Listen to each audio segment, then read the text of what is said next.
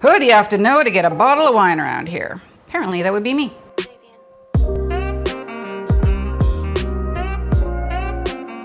Well, hello friends. Thank you for joining me today. I'm Erin, the founder and chief sommelier here at the Wine Sisters. I think we need to go back to basics this September. That's right, I think we need to go back to wine school. It's funny, I think a lot of you who've been watching for a while, and if you're based in Toronto, maybe you even attended the wine school that I actually teach.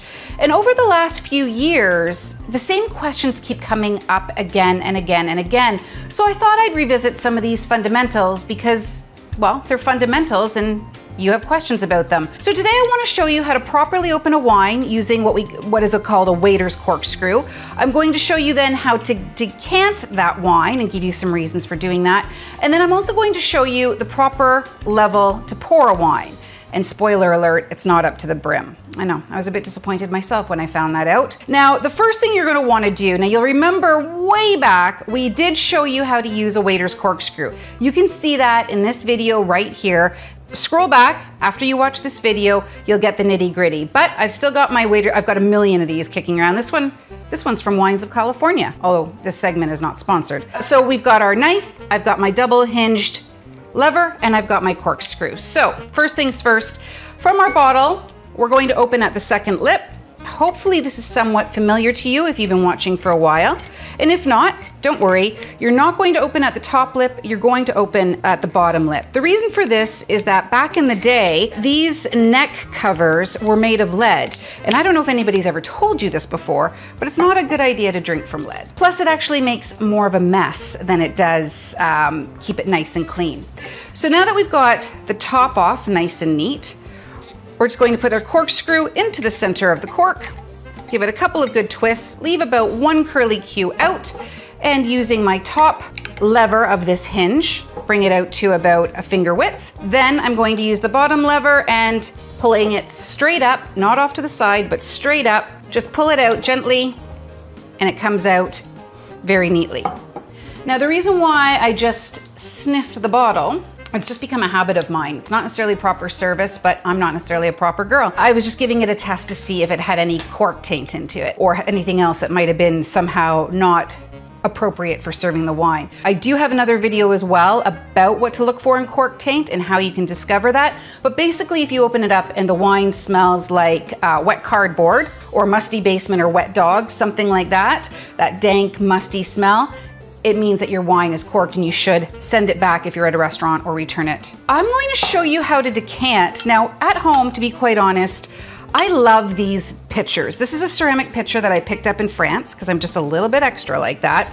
And I love it the most. I think the color and just the uh, ceramic part of it, I think it just brings a bit of whimsy to the dining table. I don't always want to have these stand-on ceremony dinner parties, but I love that it has a handle, it has this convenient spout, but most importantly, it has a great air to wine ratio. The reason why you decant at all there's a bit of showmanship involved, of course, but when you get that air into the wine, it allows it to open up. It allows those aromatics and those flavors to come through even more so. Notice in the bottle, we have such a we have such a narrow opening that you're not allowing for a lot of um, for a lot of air to come in and open that wine up. So decanting your wine really helps do that.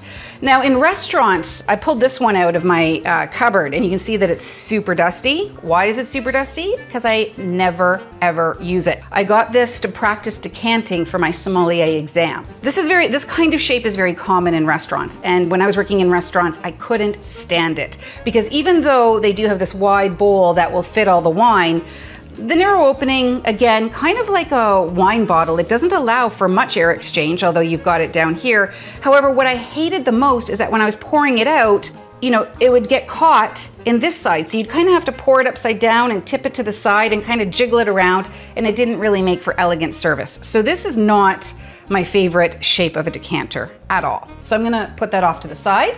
Like I said, I normally like the whimsy of these, but because I wanna show you about decanting, I'm going to use this one. This is something that I use more for some of the pitcher drinks that we make. You can see some of those pitcher drinks right here, uh, but I'm gonna use this just so you can see it come through. So all you're going to do, especially if you're going to be decanting for sediment, that's less of an issue these days unless you have a very old wine. But you remove the neck and you would put uh, a light underneath and you would watch to see as any sediment came up through the shoulder of the glass. Now what we're doing more often than not is we're decanting either to make a bit of a show about it, because let's face it, wine service, there's a little bit of showmanship in it and I'm quite frankly here for it. But you're mostly doing it for that aeration that I talked about. You're pouring it from the bottle. It's been the wine is a living, breathing thing. It's it's been trapped in the bottle for at least a year, if not several years, and it needs time to stretch itself out to reveal its best self. If you were trapped, you know, on an airplane en route to Europe for a six, eight, 10 hour flight, you know, you aren't fresh as a daisy when you get off that flight either. You need time to stretch, brush your hair, brush your teeth, wash your face. You need a little bit of time to reveal your best self to the world, and so does your wine. So that's what we're going to do for it right now. So I'm gonna take my bottle, I have my decanter, and I'm just going to pour it straight in. Now, a lot of fancy wine people, this is when I was going to school. I haven't heard it, this sentence in a long time, thank God. Hopefully, most people have stopped talking about it. But I used to work at this one restaurant where the owner would always be like, Yeah, Erin, can you uh, grab that wine and serve it to table five? And you know, just really bruise it, really bruise that wine. Honestly, I don't know what the hell people are talking about. I think it meant don't damage it at all, but you're not going to. So this wine, as suspected, it's a fairly youthful red. Uh, there isn't any sediment that I can see. Normally I would be putting a light if I was concerned about sediment. I'm not. So I'm just pouring this and you can already get those gorgeous aromatics. In this particular case, lots of blackberry and chocolate, like it's already wafting out of this decanter, which is a real turn on, to be quite frank. General rule of thumb, you know, I like to say decant for about an hour. So you get home from work, you decant your wine, you leave it on the dining room table. Maybe, maybe you pour yourself a little glass of sparkling or a cocktail. You go about making your dinner. It takes 30, 45, 60 minutes to make dinner. So by the time you sit down, your wine is nice and decanted. Yes, there are special wines out there that some people will double decant or decant in the morning and so on and so forth. That gets fairly case specific, so I'm just talking generally an hour, you should be fine. And now what we're going to do is I'm gonna show you the level of which to pour. So you're all sitting around for your dinner party, your wine is nicely decanted, you've got your glass. Now, this actually is a question that comes up quite a bit um, in lots of places. I do a lot of uh, television appearances here in Toronto, actually on, on national Canadian television shows. And when the producers and set decorators are like, how far should we pour the wine? And then my wine students. So this is apparently a very common question, and it, it, it's a bit of a, a bit of a sense of consternation. So hopefully I can clear this up for you. When you have your glass of wine, you want to pour it to the widest part of the bowl, not to the brim, sadly. And when you go to those restaurants that offer you different size pours, three, six, eight, nine, 14 ounces, whatever. If I have an opportunity to go to those restaurants and it's a better deal to get the 10 ounce glass than it is to get the four ounce glass, I'll get the 10 ounce, but ask them to put it in a little carafe or a little split and keep it off to the side so I can pour it myself. I only want it up to the widest part of the bowl. Why? It goes back to our aeration. Let me show you what I mean.